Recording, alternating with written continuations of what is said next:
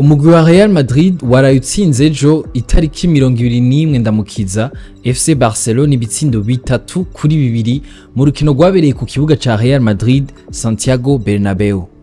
Real Madrid ikaba yaratsinze naho yari ikirushe kubera yaheruka gukina n'umugwi wa Manchester City mu ihiganwa rya Champions League hari mu gice ca kane gishiri ca nyuma.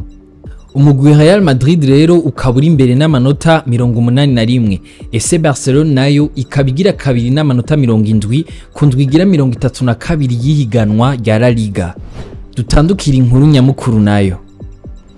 Umugwi Vitalo wasubiye kumva uburyohe bwo gutwara Primus League inyuma y'imyaka umunani. Inota rimwe gusa niryo wasabwa kandi niryo waciye uronka kuri uyu w'Imana.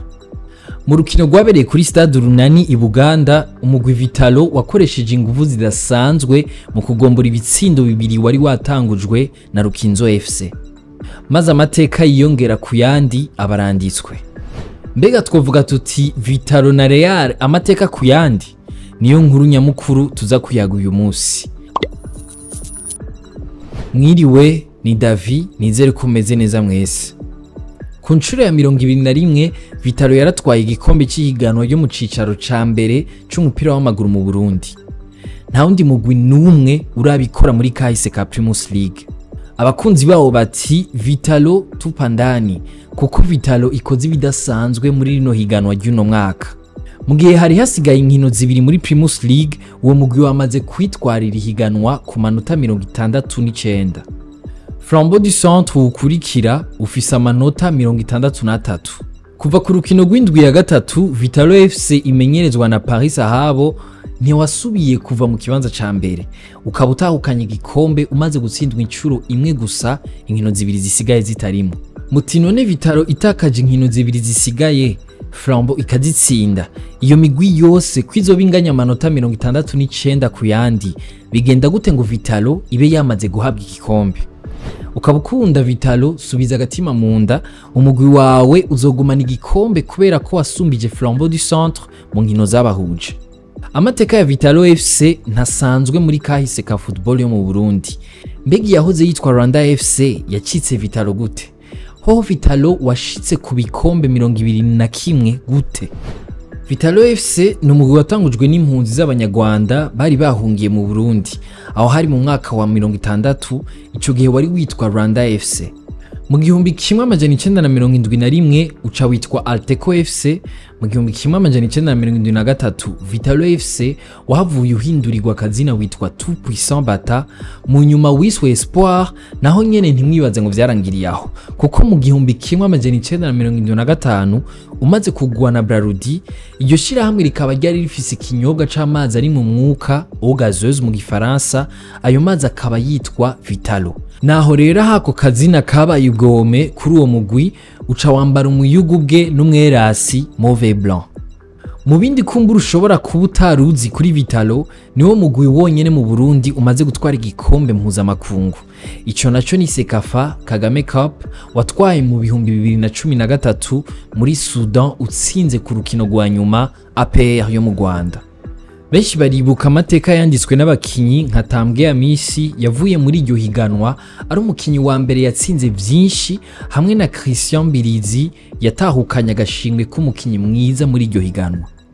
Vitalo yaranditse amateka no ku rwego rwa Afurika mbega wari uzi ko Vitalo hari ikindi wisangije muri kahise k'umupira w'amaguru mu Burundi? Niwo mugwi wonyene umaze gukina urukino rwa nyuma guhiganwa ryo ku rwego rwa Afurika aho hari mu mwaka w'igihumbi kimwe amajana icenda na mirongo icenda na kabiri aho wakinye urukino rwa nyuma rw'igikombe c'imigwi yatwaye ibikombe vy'ibihugu iwabo kizwi nka Coupe de la Fédération. Turavye naho abakinyi bakomeye baciye muri Vitalo FC umuntu yovuga nka Malik Jabir ari umwe mu bakinyi beza kurusha abandi babayeho muri kahise k'umupira w'amaguru mu Burundi. Jean-Marie Mbuyi Blaise Karorero Saido Ntibazonkiza Alain Olivier Niyungeko tutibagiye umumenyereza w'ibihe vyose wa Vitalo Gilbert Kanyenkore batazira Yaounde. Mu gusozera reka tubabwire ko nk'uko tubikesha ikinyamakuru Akeza Sports Vitalo FC yaciye ihabwa igikombe gifise agaciro k'amafaranga angana n'imiliyoni mirongo itatu na zitanu z'amarundi inyuma yo kuba iya mbere bidasubirwako muri Primus League ku munsi w'ejo. Dutandukira inkuru ngufi ngufi na zo. Impapuro z'umutsindo za baccalaureat zigiye kunganishwa n'iza licence ku isoko ry'akazi. Ikindi ni uko igice cya mbere cy'inyigisho z'ubuganga kigiye kumara imyaka itandatu hanyuma igice cya kabiri kikamara hagati y'imyaka ibiri n'itanu bivanye n'ivyo umuganga aba yahisemo kunonosora. Byashyikirijwe n'umushikiranganje ajejwe indero François Havyarimana inyuma yo kwiga no kwemeza integuro nshasha byakozwe n'inama shikiranganji yo kuwa cumi n'indwi ndamukiza bibiri na mirongo ibiri na kane. Hisunze uburyo bw'indinganizo y'inyigisho kaminuza ishira imbere intonde z'ivyigwa n'ibikorwa. BMD hamwe n'izatanzwe hisunzwe uburyo bwahahora bwashira imbere imyaka yo kwiga n'ubushakashatsi LMD impuzu zituma ivyicarizo vy'abakobwa biboneka ko ari binini. Push up ngo ziragurwa cane muri iyi misi ariko mwibanga ntangere aho ni kugira abakobwa bafise inyuma hatameze uko bifuza ngo biboneke ko bafise hanini ikinyamakuru imbere kitubwira ko abacuruza izo mpuzu bavuga ko kenshi zikunda kugurwa cane cane n'abakobwa canke abakenyezi baba bagiye ku manza. Ngo ku bijyanye n'ibeyi y'ivyo bidandazwa ngo bigugwa hagati y'amafaranga ibihumbi mirongo itatu n'ibihumbi mirongo itanu canke bigashikana ibihumbi ijana na mirongo ibiri.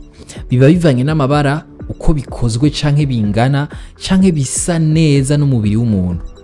Mwakoze kudukurikirana aya makuru muyasanga ku mbuga zacu ahanje tuzosubira ejo.